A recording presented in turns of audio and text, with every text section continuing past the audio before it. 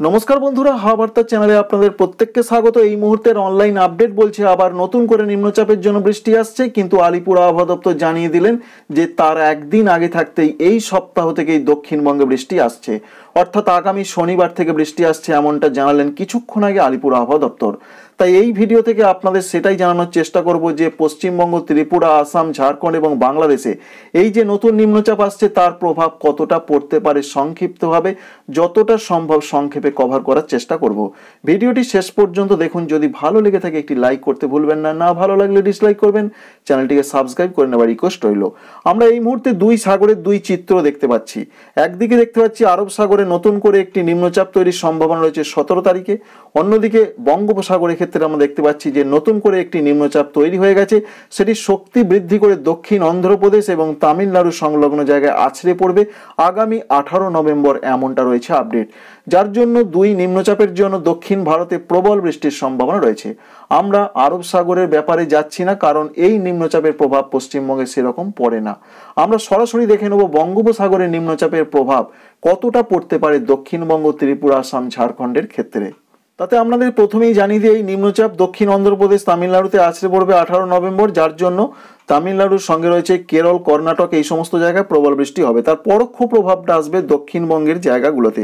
তবে আলিপুর আবহাওয়া দপ্তর জেলা জানাচ্ছেন যে কুড়ি তারিখ থেকে বৃষ্টির সম্ভাবনা রয়েছে দক্ষিণবঙ্গের চারটি জেলাতে। এমনটা রয়েছে তাঁদের আপডেট। কিন্তু আমরা অনলাইন আপডেট থেকে সেই সম্ভাবনা দেখতে পাচ্ছি না যে কুড়ি তারিখই বৃষ্টি আসছে। অবশ্যই আমরা দেখতে পাচ্ছি পরিষ্কারই রয়েছে, বৃষ্টির কোনো সম্ভাবনা নেই। তবে কিন্তু মেঘলা আকাশটা প্রধানত কুড়ি তারিখ থেকেই আসার সম্ভাবনা রয়েছে বা তার আগেও আসার একটা সম্ভাবনা বা চান্স কিন্তু রয়েছে। অবশ্যই দেখতে পাচ্ছেন যে প্রচণ্ড মেঘ কিন্তু ঢুকতে চলেছে পশ্চিমবঙ্গের সমগ্র দক্ষিণবঙ্গ জুড়ে এবং আস্তে আস্তে সেই মেঘের বিস্তার কিন্তু যত দিন গড়াবে, তত কিন্তু বাড়বে। শুধু দক্ষিণবঙ্গ নয়, আস্তে আস্তে ঝাড়খণ্ডকে কভার করবে, পাশাপাশি বাংলাদেশে মেঘলা আকাশ আসবে, এমনটা রয়েছে আপডেট এবং একুশ ও বাইশ তারিখে মেঘের পরিমাণটা প্রচণ্ড ভারে বাড়ার সম্ভাবনা রয়েছে, যার জন্যই প্রধানত বৃষ্টির সম্ভাবনা রয়েছে। এই যে ভারী মেঘটা আস্তে আস্তে ঢুকছে দক্ষিণবঙ্গে, তার জন্যই বৃষ্টি হতে পারে। আমরা সরাসরি বৃষ্টি মোডে চলে যাব এবং অনলাইন আপডেট থেকে কি দেখতে পাওয়া যাচ্ছে সেটা আপনাদের সংক্ষেপে জানিয়ে দেওয়ার চেষ্টা করব। আমরা কুড়ি তারিখে যেটা আবহাওয়া দপ্তরের আপডেট প্রথমে আপনাদের জানিয়ে দিয়েছি যে চারটি জেলাতে বৃষ্টি হবে, অর্থাৎ দুই মেদিনীপুর সঙ্গে রয়েছে ঝাড়গ্রাম, এছাড়া প্রধানত দক্ষিণ চব্বিশ পরগনা। আলিপুর আবহাওয়া দপ্তর এটাই জানিয়েছেন, এই চারটি জেলাতে বৃষ্টি হতে চলেছে কুড়ি তারিখ থেকে। তবে একুশ তারিখে যে আপডেট রয়েছে আবহাওয়া দপ্তরে নয় অনলাইনের আপডেট সেটা একবার আমরা দেখে নেওয়ার চেষ্টা করব। তাতে আমরা দেখতে পাচ্ছি যে কুড়ি তারিখ নয়, একুশ তারিখে অনলাইন আপডেট দেখাচ্ছে যে বৃষ্টি আসছে। সেই সম্ভাবনা রয়েছে বিকালের দিকে, প্রধানত আমরা দেখতে পাচ্ছি। বিকাল বা সন্ধ্যার দিকে একটা সম্ভাবনা রয়েছে। কোথায় কোথায় কেমন বৃষ্টি হতে পারে? তাই আপডেট থেকে আমরা এটাই দেখতে পাচ্ছি যে মেদিনীপুর তথা দুই মেদিনীপুর সঙ্গে রয়েছে ঝাড়গ্রাম, এছাড়া রয়েছে বাঁকুড়ার, কোথাও কোথাও হালকা মাঝারি বৃষ্টির সম্ভাবনা। এছাড়া পুরুলিয়ার কোথাও কোথাও হালকা বৃষ্টি হতে পারে, এমনটা রয়েছে আপডেট তবে কলকাতা সঙ্গে রয়েছে অন্যান্য জায়গায় যেমন পূর্ব বর্ধমান, নদিয়া, মুর্শিদাবাদ, বীরভূমে সেরকম বৃষ্টির সম্ভাবনা অন্তত আমরা একুশ তারিখে দেখতে পাচ্ছি না। পরবর্তী ক্ষেত্রে আমরা দেখে নেব কবে সেই বৃষ্টি আসছে বা আসবে না, কি সম্ভাবনা রয়েছে। তাই প্রধানত একুশ তারিখে সেই সম্ভাবনাই রয়েছে যে দক্ষিণবঙ্গের মেদিনীপুর চব্বিশ পরগনা, দক্ষিণ চব্বিশ পরগনা, পাশাপাশি বাঁকুড়া, পুরুলিয়া, এছাড়া কোথাও কোথাও হুগলি জেলার, হাওড়া জেলার, কলকাতা জেলার এখানে বৃষ্টির সম্ভাবনা রয়েছে। ঝাড়খণ্ডের জামশেদপুর সংলগ্ন জায়গায় রয়েছে বৃষ্টির সম্ভাবনা একুশ তারিখে। সরাসরি বাইশ তারিখে দেখে নেব বাইশ তারিখে কি সম্ভাবনা রয়েছে। বাইশ তারিখে আমরা যেটা দেখতে পাচ্ছি সমগ্র দক্ষিণবঙ্গ জুড়ে হালকা থেকে মাঝারি বৃষ্টি হতে পারে। কোনো জেলায় বাদ যাওয়ার সম্ভাবনা খুব কম রয়েছে। চলুন একবার দেখে নিই কি দেখতে পাওয়া যাচ্ছে। কলকাতা, হাওড়া, হুগলি রয়েছে দুই চব্বিশ পরগনা রয়েছে, পূর্ব মেদিনীপুর, পশ্চিম মেদিনীপুর রয়েছে, ঝাড়গ্রাম রয়েছে। এছাড়াও প্রধানত পূর্ব বর্ধমান রয়েছে, নদিয়া রয়েছে, এখানে বৃষ্টির সম্ভাবনা খুব বেশি। তবে পুরুলিয়াতে আমরা সেরকম বৃষ্টি দেখতে পাচ্ছি না, বাঁকুড়ার কোথাও কোথাও বৃষ্টি হতে পারে, মুর্শিদাবাদ, বীরভূমে আমরা বৃষ্টি কিন্তু দেখতে পাচ্ছি না। বাইশ তারিখে সকালের দিকে যে আপডেট রয়েছে। বাইশ তারিখে আমরা আরেকটু এগিয়ে যাব, তাতে আমরা দেখতে পাচ্ছি দক্ষিণবঙ্গের একেবারে উপকূল সংলগ্ন জায়গা, যেমন রয়েছে পূর্ব মেদিনীপুর, পশ্চিম মেদিনীপুর, ঝাড়গ্রাম। এখানে প্রচণ্ড বৃষ্টির সম্ভাবনা রয়েছে। সঙ্গে গঙ্গাসাগর এলাকায় প্রচণ্ড বৃষ্টি হতে পারে, এটা আমরা দেখতে পাচ্ছি। দীঘা কন্টায় প্রচণ্ড বৃষ্টিপাত হতে পারে। এই যে একটা সবুজ ভাব, এটা কিন্তু বেশ ভারী বা মাঝারি ভারী বৃষ্টির সিম্বল সঙ্গে আমরা দক্ষিণ চব্বিশ পরগনায় মাঝারি থেকে মাঝারি ভারী বৃষ্টি দেখতে পাচ্ছি। এছাড়া আমরা দেখতে পাচ্ছি গোসাবা, সঙ্গে রয়েছে কুমিরমারি, ঝাড়খালি, সংলগ্ন জায়গা, যেমন রয়েছে কাকদ্বীপ, নামখানা। এখানে হালকা বৃষ্টির সম্ভাবনা আমরা লক্ষ্য করতে পারছি। এছাড়া আমরা দেখতে পাচ্ছি কলকাতার সঙ্গে হুগলি জেলার চন্দননগর। এখানে বেশ কিছুটা হালকা মাঝারি বৃষ্টি হতে পারে। তবে বর্ধমান জেলাতে সেরকম আমরা বৃষ্টি এই মুহূর্তে দেখতে পাচ্ছি না। নদীয়ার কোথাও কোথাও বৃষ্টির সম্ভাবনা রয়েছে। শান্তিপুর সংলগ্ন জায়গায় বৃষ্টির সম্ভাবনা রয়েছে। পাশাপাশি বর্ধমানে যেমন দেখতে পাচ্ছি না, তেমনি আমরা দেখতে পাচ্ছি না বীরভূম এবং মুর্শিদাবাদে সেরকম বৃষ্টিপাত আমরা দেখতে পাচ্ছি না। তবে বাংলাদেশে আমরা কিছুটা বৃষ্টিপাত দেখতে পাচ্ছি, যেমন রয়েছে খুলনা, মংলা, সাতক্ষীরা, যশোরে।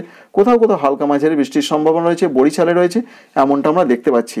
ঝাড়খণ্ডে আমরা দেখতে পাচ্ছি সেরকম বৃষ্টি নেই, যদিও জামশেদপুর সংলগ্ন কোথাও কোথাও বৃষ্টি হতে পারে।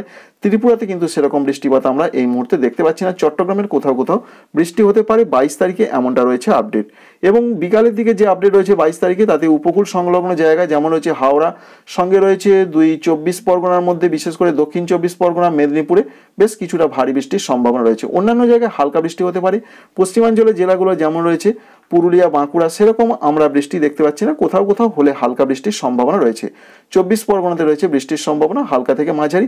বাংলাদেশের ক্ষেত্রে আমরা দেখতে পাচ্ছি যে প্রধানত খুলনা বিভাগ, বরিশাল বিভাগে কোথাও কোথাও হালকা বৃষ্টি হতে পারে। কলাপাড়া, শ্যামনগর সঙ্গে রয়েছে খুলনা, বরিশাল, এছাড়া শ্রীকান্তপুর, এছাড়াও রয়েছে পাশাপাশি সাতক্ষীরা।